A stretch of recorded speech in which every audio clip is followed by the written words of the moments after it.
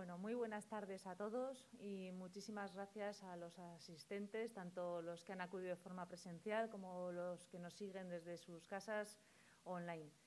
El aula de esta tarde es una aula dedicada a la oftalmología, es decir, a las enfermedades, al diagnóstico y a los nuevos tratamientos que hay sobre eh, la oftalmología, sobre los problemas de vista. Contamos para ello con los doctores Héctor Fariña y Lourdes Ruiz, eh, oftalmólogos eh, que forman parte ya de la comunidad de médicos tanto del Hospital Quirón Salud Donostia como de Policlínica Guipúzcoa. En principio van a hablar básicamente sobre todo de las nuevas terapias, de, las eh, patologías más frecuentes que, estamos viendo y de los tratamientos tanto médicos como quirúrgicos invasivos que podemos ofrecer en nuestros hospitales. Eh, sin más dilación, les damos la bienvenida, a todos, eh, advertirles de poner en silencio los móviles para no interferir durante la, sesión, recordarles que al final del aula podrán, eh, levantaremos el, telón para que vean la pecera y podrán bajar por esa escalera y visitar el acuarium si, ustedes lo desean. y sin más, empezamos. Gracias.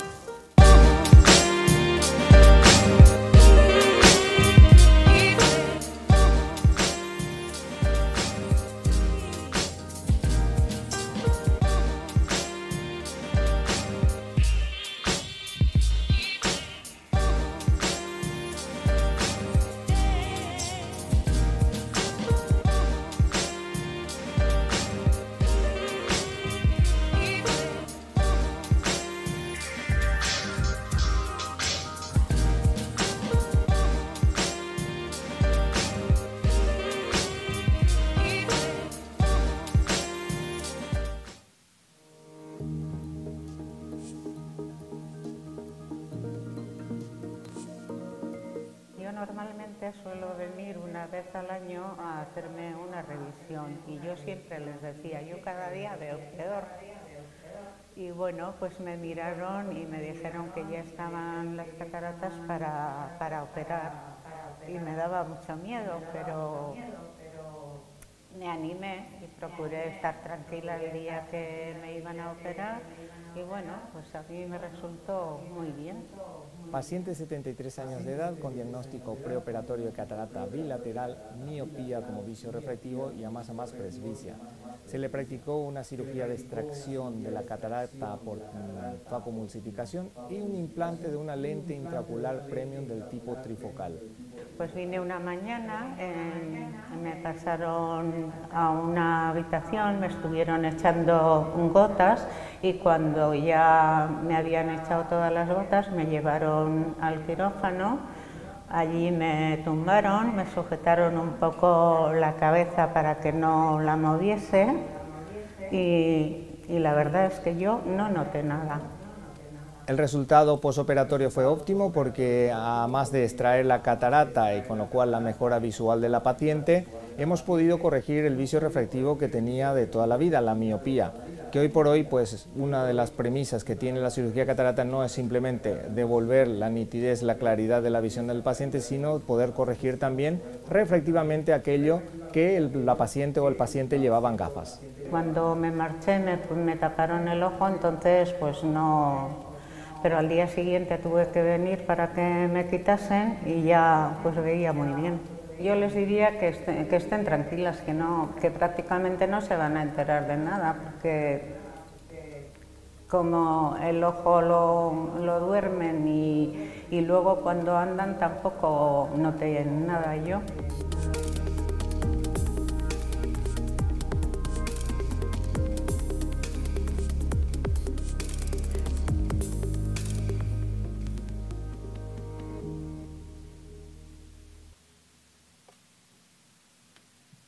Pues comenzamos con la ponencia. Doctora Ruiz.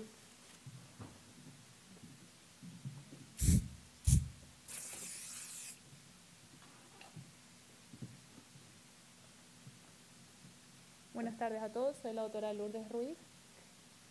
y voy a hablar un poquito de lo que nosotros hacemos el día a día y lo que recomendamos.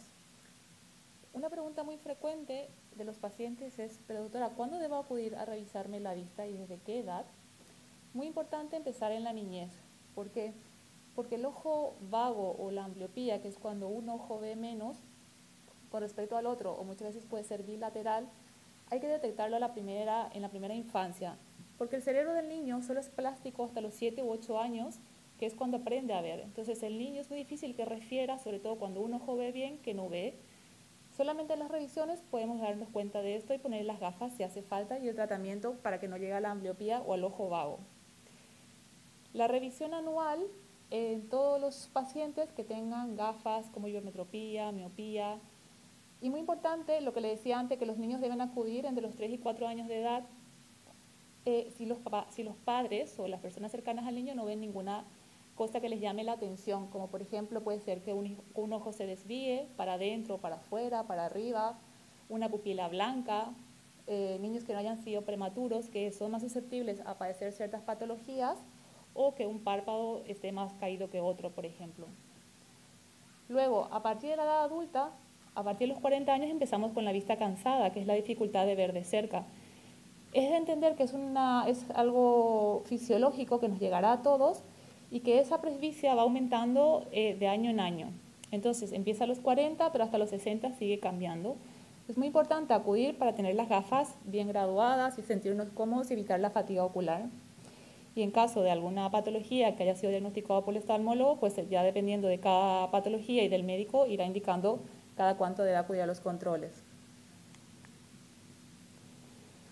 ¿Cuáles son las enfermedades más comunes y cómo saber si tengo que acudir al oftalmólogo? Algo muy frecuente, sobre todo en primavera y en verano, son las conjuntivitis, el ojo rojo, secreción, picores. Y algo muy frecuente que no nos damos cuenta o que es muy difícil que el paciente sepa qué es la, qué es la blefaritis. ¿Qué es el borde palpebral? Se pone congestivo, podemos notar como castillas, como las capas del pelo, pero a nivel del borde palpebral. Lo que pasa que al ser tan minúsculo eso es muy difícil detectar si no acudimos al oftalmólogo. Eso produce ojo rojo, picor, puede producir conjuntivitis, orzuelos y hoy es muy frecuente con el uso de las mascarillas, porque con las mascarillas la respiración se nos mete aquí y es como tener el ojo constantemente con un vapor. Eso inflama el borde palpebral y produce todo esto. Luego, las ametropías. ¿Qué es la ametropía? Es cuando el paciente necesita gafas, ya sea por miopía, hipermetropía, eh, pacientes que tengan dolores de cabeza, que tengan dificultad con las pantallas, fatiga, que hoy en día usamos muchas más pantallas y sentimos más lo que es la fatiga ocular, el cansancio, sensación de pesadez de los ojos. El ojo seco, también muy frecuente por el uso de pantallas, em, sensación de tener los ojos pesados, cansados, puede dar visión borrosa, y algo muy llamativo es que el paciente normalmente dice, pero ¿por qué tengo el ojo seco, doctora, si a mí lo que realmente me llora el ojo? Porque esa lágrima no es de calidad, entonces el ojo lo desecha y realmente se queda seco. Entonces el lagrimeo también puede ser un síntoma de ojo seco. Eh, la catarata, cuando el paciente empieza a partir de cierta edad, más o menos alrededor de los 60 años, a tener la visión borrosa, empieza a tener dificultad para ver de lejos y curiosamente puede ganar la visión de cerca. Luego, pacientes que tengan antecedentes familiares de patologías, como por ejemplo el glaucoma, que es la hipertensión ocular, la presión alta del ojo. Si tenemos un tío, un abuelo, em, padre, madre que tenga glaucoma, hay que acudir a las revisiones, porque el glaucoma puede ser una enfermedad silente, una enfermedad que no da síntomas hasta estadios muy avanzados. Porque por lo general el glaucoma de ángulo abierto, hay dos tipos de glaucoma, pero uno de ellos, el más frecuente, no produce síntomas y empezamos a perder la visión periférica. Es muy importante por eso, si hay alguien en la familia que tenga esta patología, acudir a revisiones. Y luego la degeneración macular, que es la alteración de la mácula, que es la zona fina de visión. ¿Qué tenemos para el avance de este tratamiento de estas afecciones? Pues algo muy importante, muy frecuente, mejor dicho, es la blefaritis, lo que les explicaba, la inflamación del borde palpebral. ¿Por qué es muy frecuente? Hoy en día por la mascarilla mucho. Luego, las mujeres usamos mucho el lápiz de ojo, cremas, la polución, todo eso son partículas que se van depositando y que van inflamando el borde palpebral. Entonces, en casa podemos hacernos una higiene, existen toallitas, espumas especiales para limpiar, pero al ser tan microscópico esa zona muchas veces es difícil hacer una buena limpieza. Nosotros contamos con un dispositivo que se llama Blefex, que es una microexfoliación. ¿Qué significa eso? Que es como ir al dentista y quitar el sarro de los dientes, pues cada año acudimos, es igual. Hay que quitar la suciedad que está adherida al borde palpebral para que esa, esa, esa parte anatómica del ojo esté limpia, la, la lágrima sea de buena calidad y podamos evitarnos orzuelos, conjuntivitis, ojo seco. Eso lo hacemos en la consulta y es un tratamiento innovador y que va muy bien y que como acudimos al dentista una vez al año a hacernos más o menos la limpieza, pues esto también es algo parecido.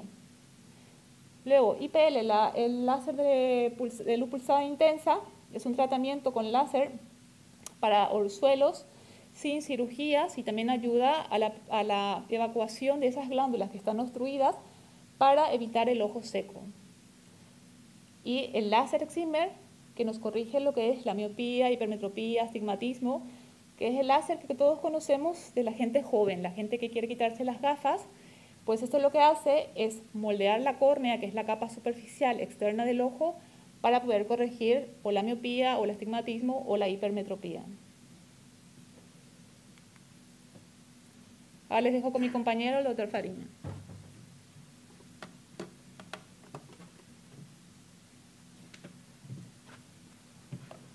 Buenas tardes, Rachel León a la audiencia.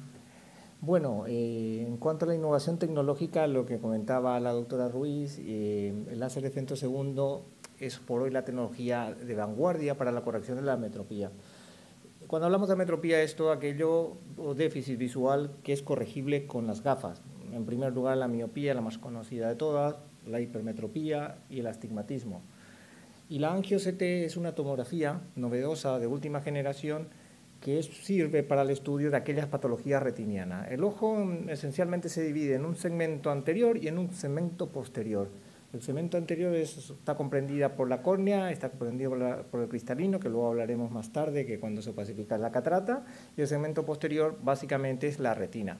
Si tomamos una comparativa muy similar a una cámara fotográfica, vaya, la cámara fotográfica está copiado del modelo ocular visual, tenemos una serie de lentes, la córnea la más potente, la parte de adelante, el, cristalito transparente que está por delante del color de los ojos, tenemos nuestro propio zoom, que es el cristalino, el que regula las distancias, que a partir de los 40 se vuelve rígido, va perdiendo flexibilidad, como las caderas, como las rodillas, y posteriormente tenemos la película, que es donde se capta la imagen que luego es transcribida al cerebro, donde se interpretan al final todo lo que vemos en nuestro entorno, que es la retina.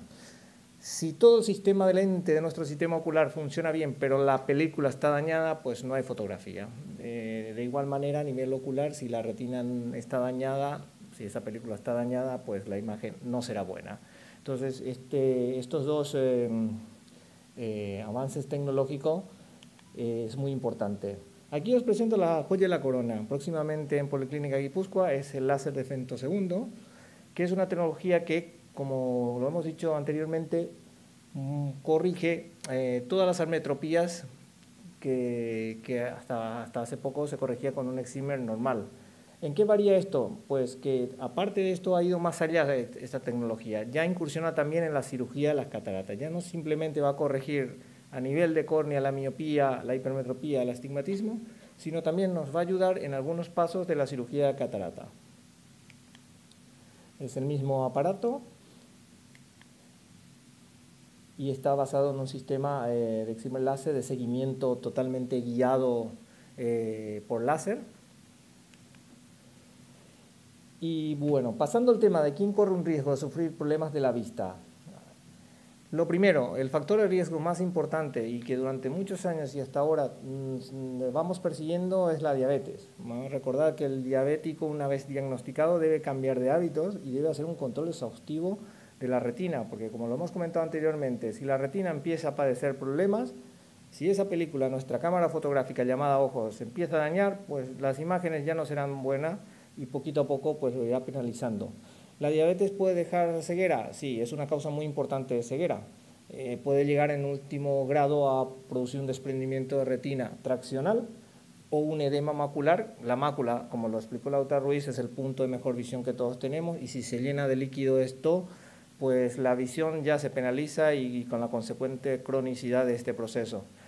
Eh, siempre le comento a los pacientes diabéticos, a ver, el diabético disciplinado, que, sigue la dieta, que toma la medicación, que hace un control endocrinológico exhaustivo, que su hemoglobina, glicosilada lo mantiene a raya, 7, la cifra, eh, o lo que indique el endocrinólogo, no tiene que tener miedo de quedarse ciego, evidentemente.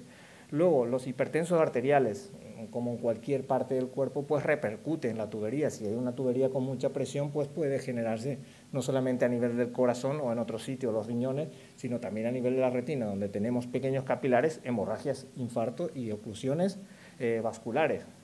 La dislipidemia, la dislipidemia por la misma razón, ¿sí? los ateromas que se pueden formar en las paredes y más aún en los pequeños capilares de la retina pueden producir trombo y émbolos que al final acaban en lo anterior, en infarto o oclusiones vasculares también. Luego, la miopía magna. Este es un apartado muy especial porque realmente la población miópica magna es, es importante si tomamos el contexto general de la población. Eh, pensad que el ojo del miope magno es un ojo muy grande, en el cual la retina es muy delgada. Siempre comparo que es como una habitación de 6 por 6 pero que tiene una alfombra que debe cubrir esa habitación, pero está fabricada 4x4, con lo cual esa retina se tiene que estirar para llegar a las paredes y se adelgaza bastante.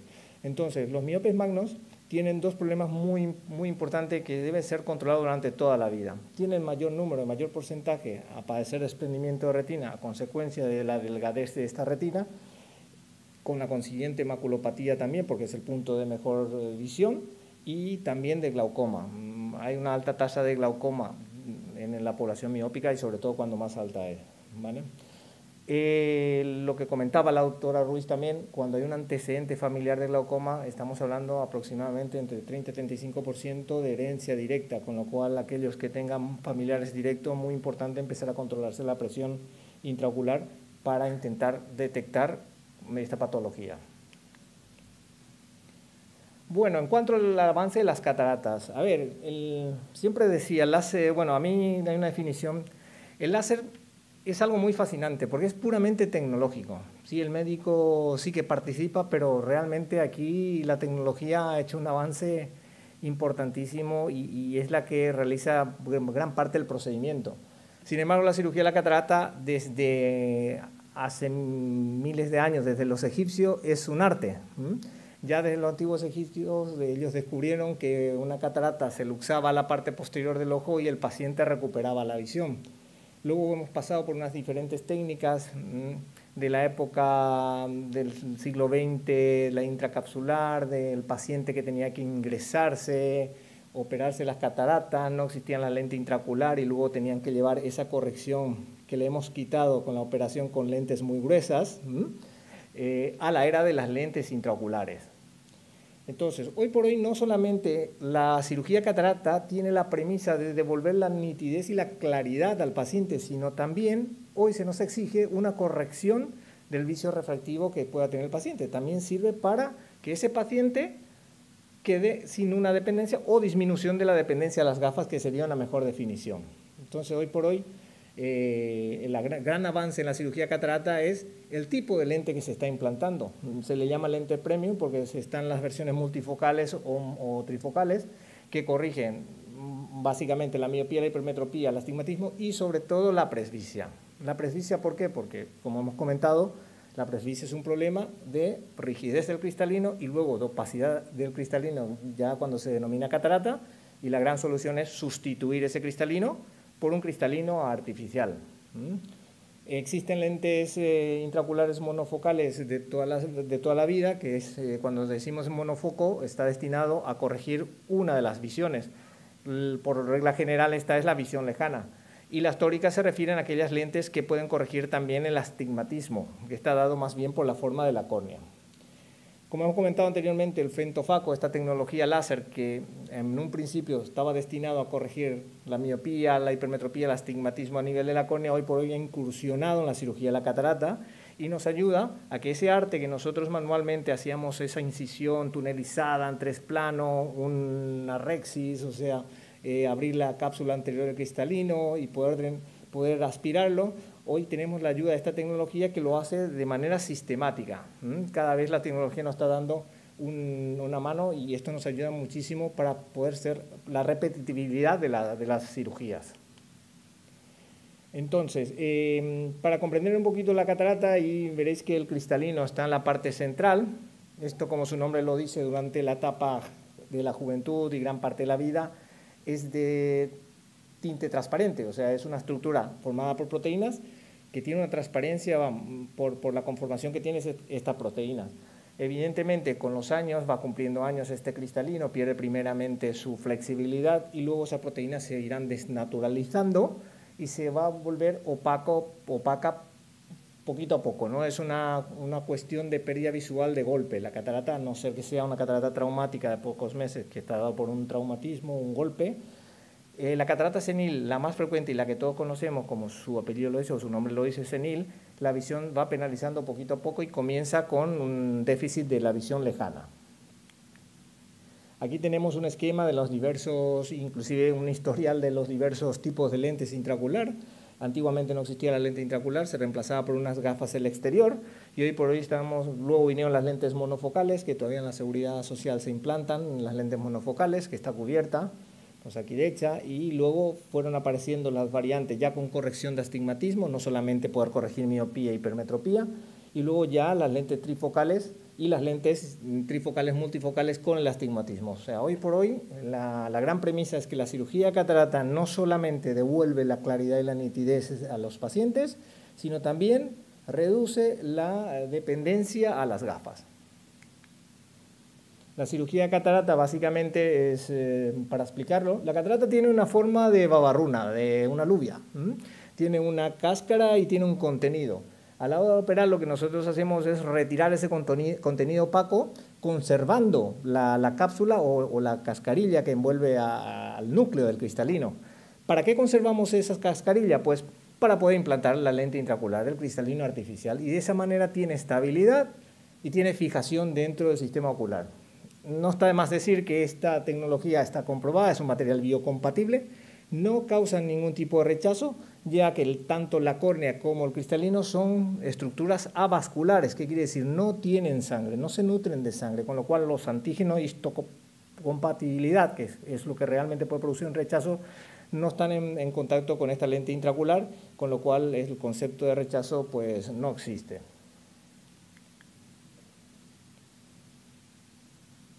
Muy bien. En cuanto a qué alimentos, es una pregunta muy frecuente. ¿O qué vitaminas puedo tomar para mejorar mi salud visual? Pues de toda la vida, ¿no? Tenemos la imagen del conejo. La vitamina A es sumamente importante porque está la presencia de los beta-carotenos, que es, un, que es una sustancia eh, del cual se nutren las células retinianas. Recordemos, la retina es la película de la cámara fotográfica de nuestros ojos y aquí pues encontramos en diversas frutas, verduras de los colores variados, ¿eh? no solamente las zanahorias, sino en todo aquello que tenga, que sea colorido, está presente el beta-caroteno. Muy importante también la vitamina C, evidentemente un factor antioxidante por excelencia. Recordar que la mayoría de los cambios eh, que ocurren con la edad es por oxidación del cuerpo y pues no está de más pues agregar un factor antioxidante, como también eh, lo que hemos comentado anteriormente, controlar la dislipidemia, las grasas buenas, el omega 3, el omega 6, presente en los pecados azules, blancos, frutos secos, también contribuyen a retardar o evitar que se vaya oxidando las estructuras oculares y también los minerales y oligoelementos. En cuanto a los otros cuidados, pues le voy a dejar en la, palabra, como buena madre que es, va a quedar mejor la moraleja, la Lauta Ruiz os va a hablar de este tema.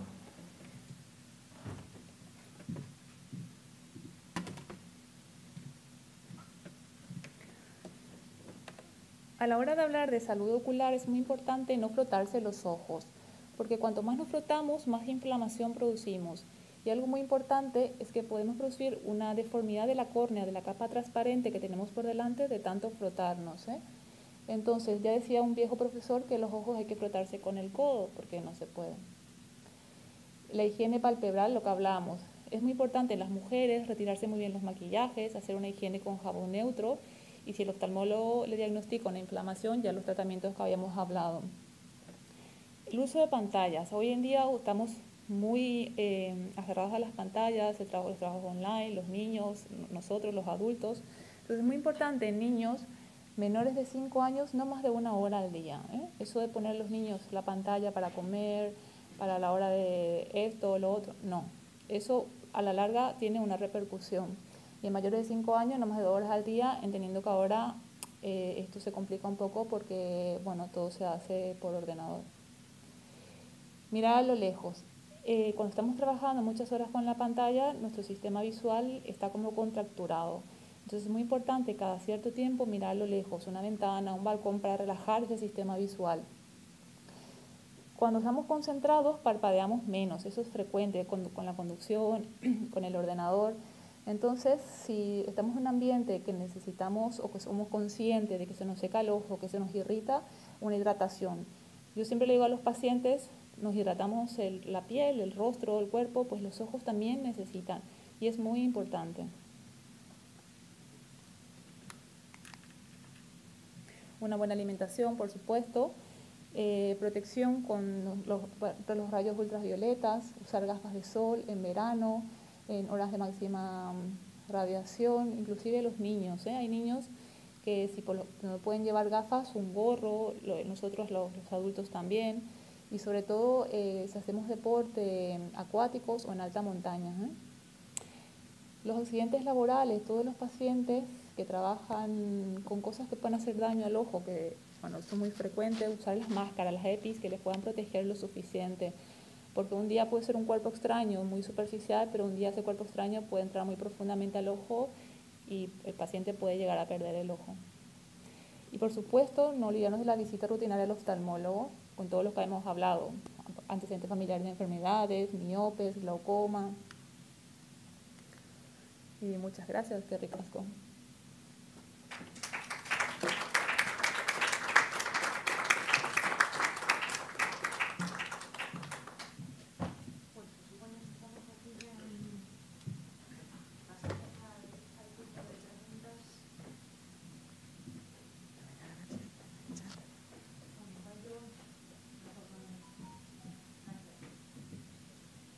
Felicidades porque ha sido excelente exposición, muy clara, muy dirigida. Igual para romper el hielo voy a empezar con una pregunta que, seguro que a muchos se nos pasa por la cabeza. ¿A qué edad eh, podría ser la primera cirugía de los ojos respecto a lo que es miopía? Eh? Hablo ya de, miopía, hipermetropía, porque hay muchos niños, adolescentes que utilizan las lentillas, gafas y, siempre están esperando a terminar de para y por miedo de que luego igual se tienen que reintervenir.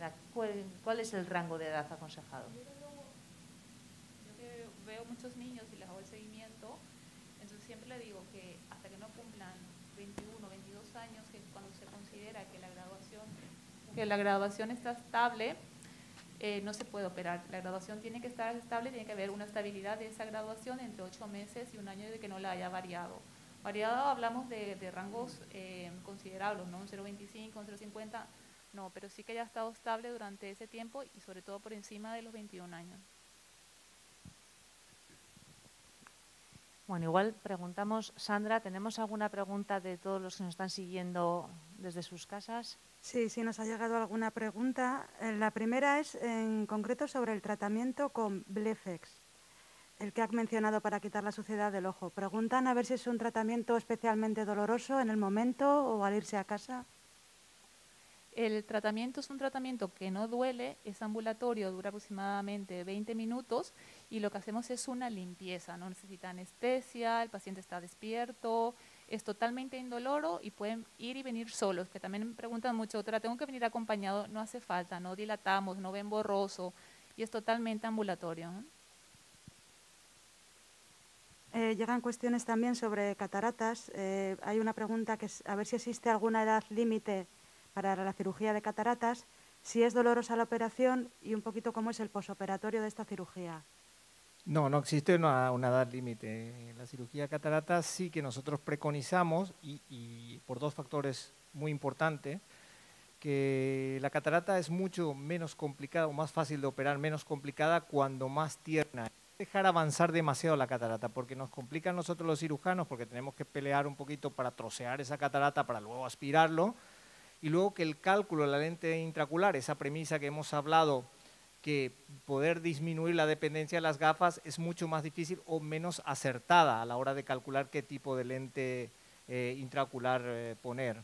Eh, hoy por hoy la cirugía catarata se hace con anestesia tópica, ni siquiera es anestesia general, el paciente está consciente, puede hablar con el cirujano, está relajado evidentemente porque tenemos una excelente, una excelente unidad de, anestesia que mm, pone un poquito de relajación, hay buena música en el quirófano y acabada la cirugía pues la recuperación es totalmente ambulatoria, se va a casa.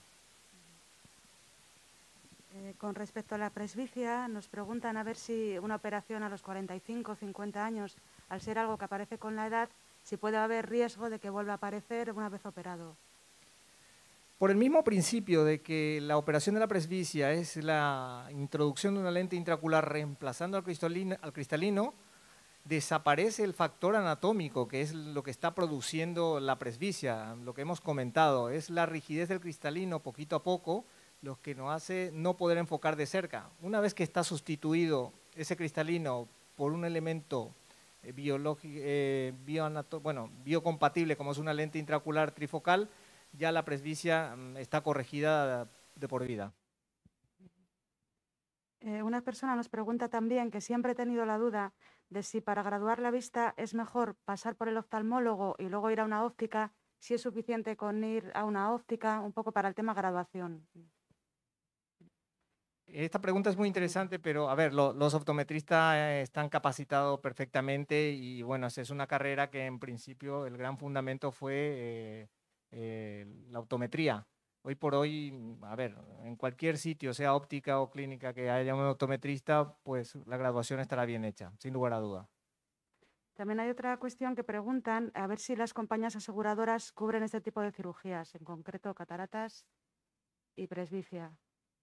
Sí, la mayoría de las eh, aseguradoras cubren la cirugía de la catarata. Sí que hay algunas eh, aseguradoras, dependiendo aquí ya de pólizas, dependiendo de antigüedades y todo esto, que puede que no se cubra la lente, las lentes intraculares premium. Pero esto hay tanta diversidad de mutuas, tanta diversidad de, de pólizas que, que sí, algunas sí, otras pues lastimosamente no aún. Otra persona nos pregunta que tiene hipermetropía y a ver con qué frecuencia debe ir al oftalmólogo o revisar su vista. Sí, a ver, es recomendable cada año revisarse. La hipermetropía a partir de los 40 años es una de las ametropías que tienden a subir eh, de manera más acelerada por el simple principio que el cristalino, que era flexible, podía corregir cierto grado de hipermetropía que ya venía desde la infancia, desde, desde la adolescencia inclusive y empieza a salir a partir de los 40 años. Esa es una hipermetropía que le llamamos latente, que estaba escondida porque el cristalino en su función de, enfoque lo, corregía de manera eficiente y a medida que va perdiendo flexibilidad empieza a subir. Eh, yo siempre digo a los pacientes hipermétrope, pues haceros amigos del, del, óptico porque cada año y medio, dos años, a partir de los 40, progresivo nuevo. Y una última cuestión. Comentan que han leído una persona que el ojo seco se puede tratar pero no curar. A ver si esto es cierto. Y otra pregunta a la misma persona. ¿Puedo llevar lentillas teniendo ojo seco? Es una pregunta muy interesante porque el ojo seco es eh, multifactorial. Hay muchos factores que influyen. En las mujeres, las hormonas cumplen un papel importante. En la menopausia, el ojo seco es muy frecuente. El uso prolongado de pantallas, la polución, las mujeres que nos hacemos la rayita, las cremas que usamos, eso obstruyen las glándulas que están ahí y entonces la lágrima no es de buena calidad. Entonces hay tantos factores que influyen que no se cura. O sea, que no podemos decir, vamos a tratar el ojo seco una semana, señora, que ya no, porque hay tantos factores que contra todos esos factores no podemos ir, sin mencionar que hay enfermedades como las enfermedades autoinmunes, lupus, artritis reumatoidea, que también producen mucho ojo seco. Entonces, eh, no podemos tratar todos esos factores, por lo cual el paciente siempre tiene que hacer una hidratación constante de los ojos. Dentro del ojo seco tenemos otra vez estadios, eh, ojos secos leves, moderados, graves, dependiendo de cuál sea la causa. En cuanto al uso de lentillas, es importante hacer un buen diagnóstico del tipo de ojo seco que tiene, si es un ojo seco leve o moderado, quizás pueda tolerar y otra vez existen lentillas que son como las diarias, por ejemplo, que se toleran mejor que las mensuales o las quincenales. Entonces hay que hacer un estudio exhaustivo de la lágrima, de la película lagrimal, de saber cómo está ese ojo, cómo está esa córnea, que es donde va a ir apoyada la lentilla. Muchas gracias. No sé si en el público creo que hay algunas preguntas. Eh, alzan por donde tenemos al fondo un caballero, en medio otro y aquí también. Vamos por orden.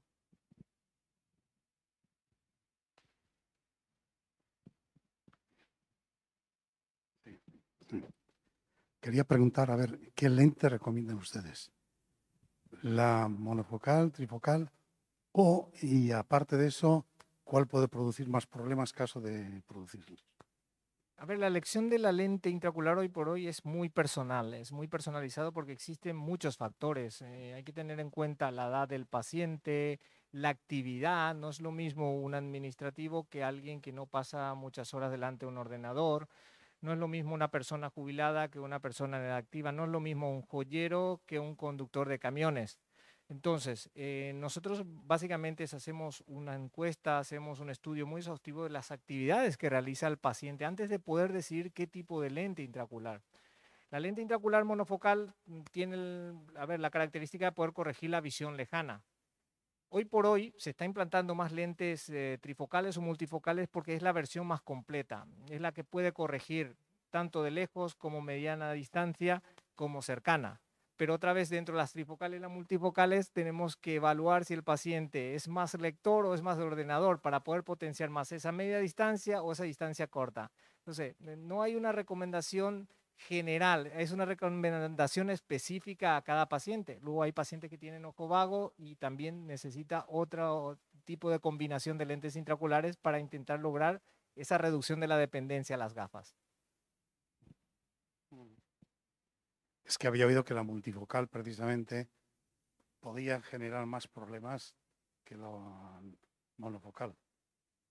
A ver, la, multifocal, em, en un principio, la primera tecnología, ya vamos mm, avanzando bastante. Hay versión mejorada de las lentes, tanto trifocales como las multifocales. Eh, si le podíamos llamar como pegas, tenía el problema de que sí que es dependiente de mucha luz.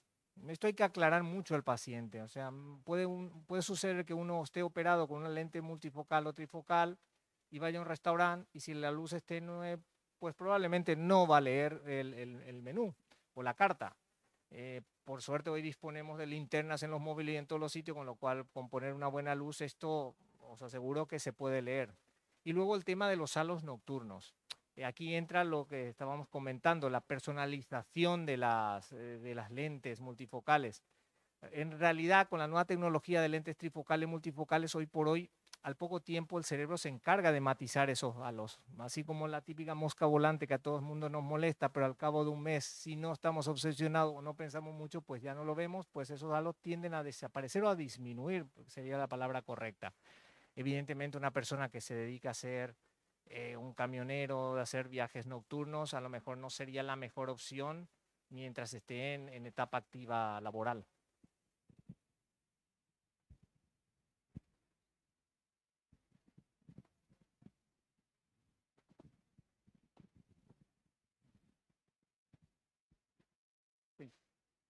Muy buenas. Sí, sí. Eh, respecto al tratamiento de la retina, ¿ustedes contemplan acaso los, eh, eh, emplean técnicas génicas en caso de la retinosis pigmentaria. No digo, por eso pregunto. ¿Me ha oído? La, terapia génica. Sí, la terapia génica.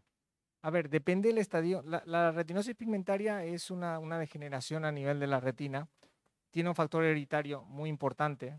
Hoy por hoy existen estudios no concluyentes en cuanto a terapia, o sea, existen tantas diversidad, depende de qué país está. Lo que sí sabemos es que eh, el avance de esta patología puede ser tan catastrófica que la visión queda muy limitada y, de hecho conduce a una ceguera, ceguera no de oscuridad total, pero una ceguera legal eh, sustancial.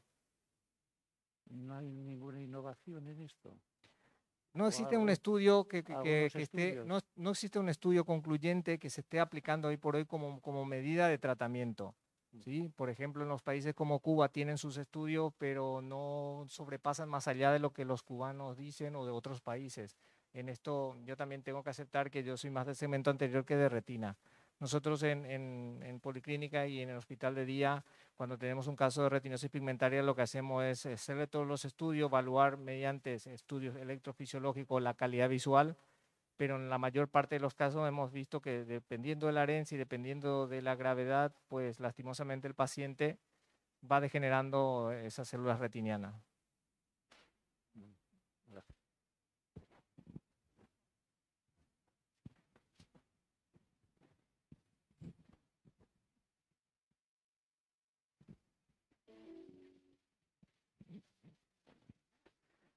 Sí, buenas tardes.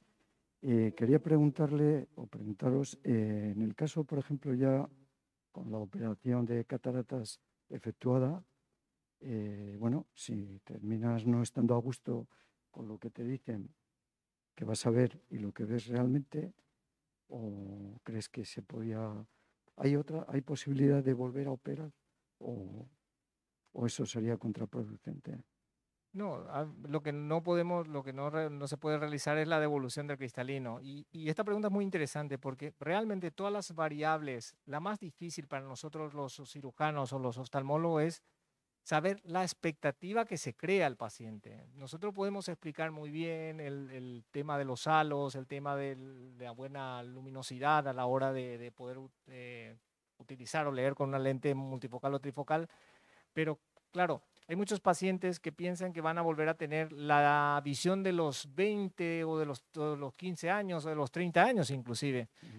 Eh, y esto es muy difícil de evaluar. A ver, solución existe, porque si la lente multifocal o la trifocal, el paciente no está a gusto, pues siempre existe la posibilidad de un recambio por una monofocal, con lo cual se potenciaría la visión lejana, pero el paciente tendrá que aceptar unas gafas a la hora de enfocar de cerca y media distancia, como es el caso del ordenador. Si existiera un residuo refractivo, ¿qué quiere decir esto? Que no se llegara a corregir o quedasen dioptrías no corregidas luego de la implantación de este tipo de lentes, siempre tenemos la córnea para poder hacer un tratamiento con un excimer láser y poder eh, rectificar estas dioptrías sin necesidad de, extraer esta lente y, sustituirla por otro tipo de lente. Soluciones existen.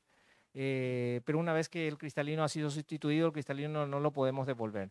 Y en el caso de la catarata, pues la catarata ya era una opacidad de, este, de esta estructura, con lo cual la visión estaba bastante penalizada.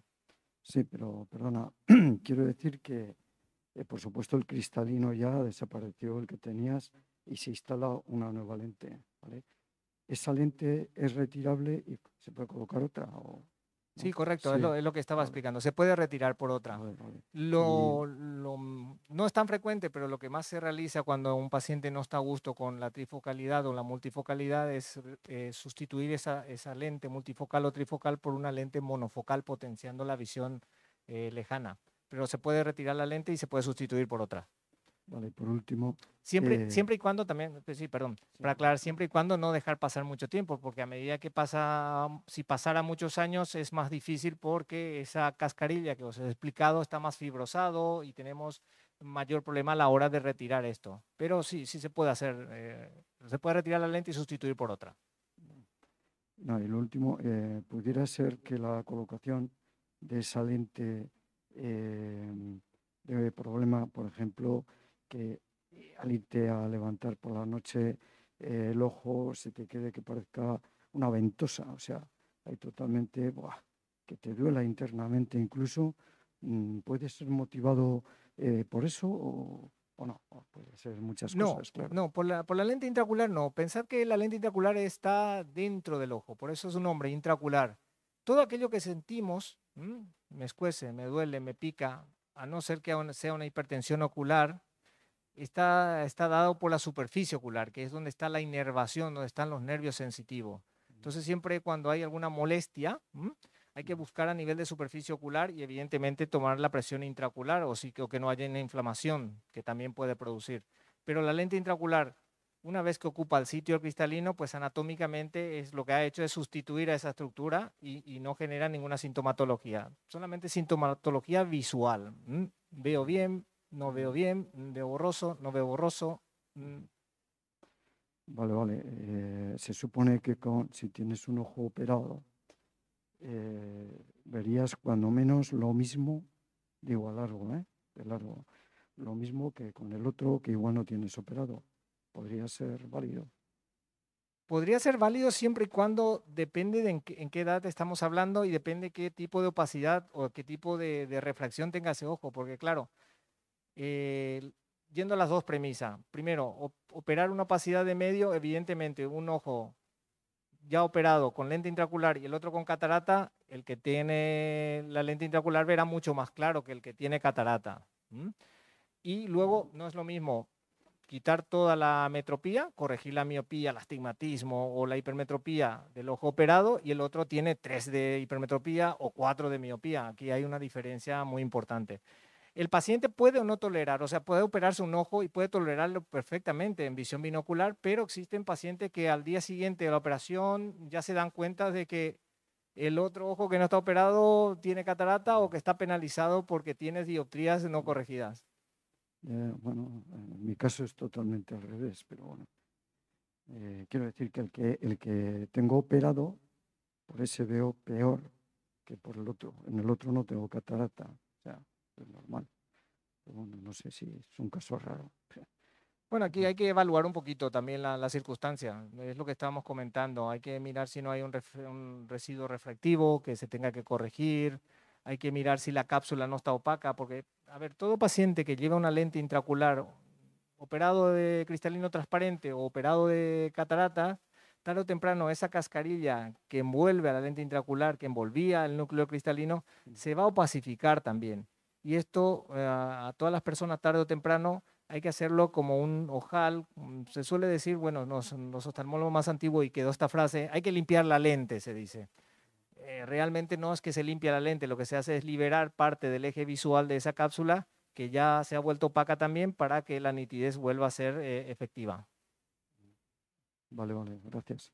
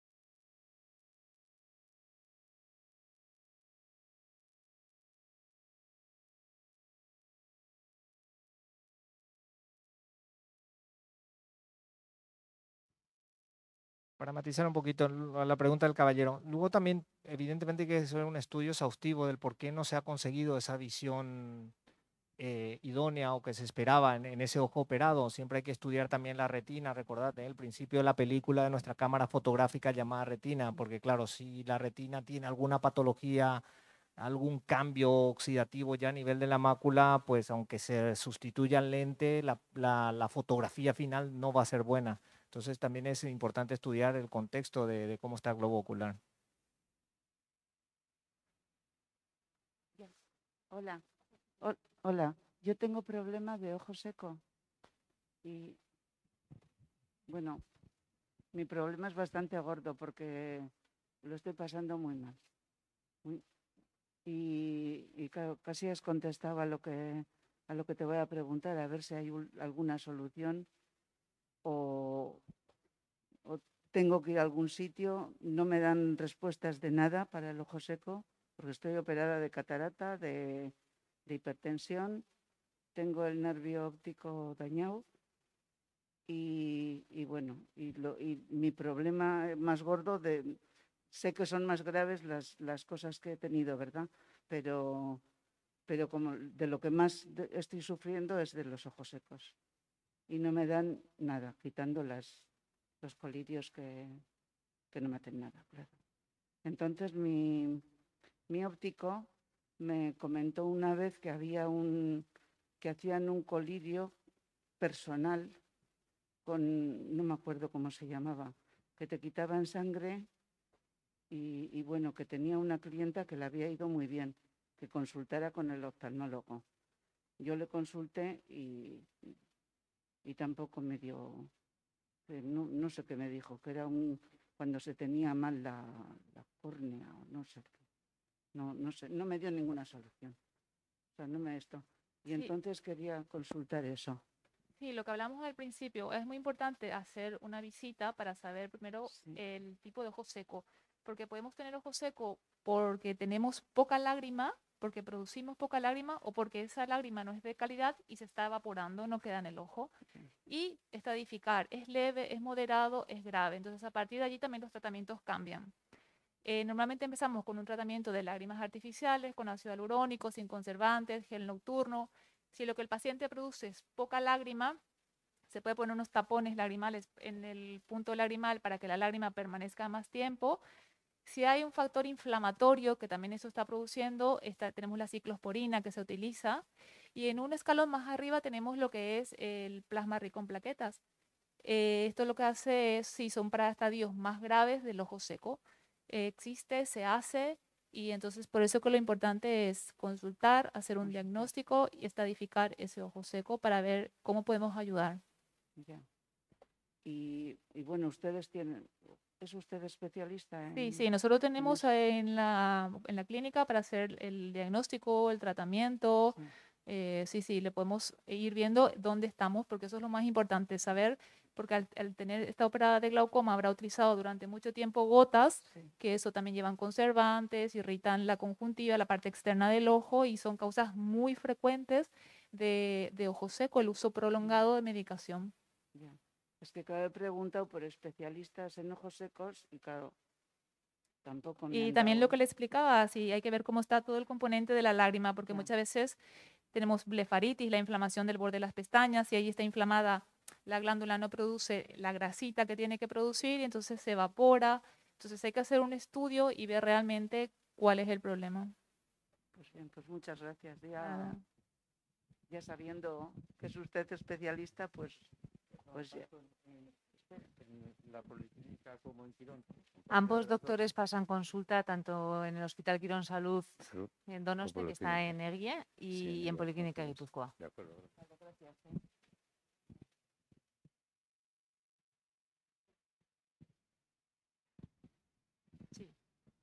la señora que está.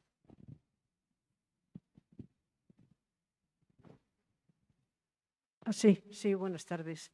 Eh, a ver, solo una pregunta. Cuando el ojo se irrita muy a menudo, ¿es suficiente darse un colirio de estos que se compran en la farmacia y ya está? No. Ay.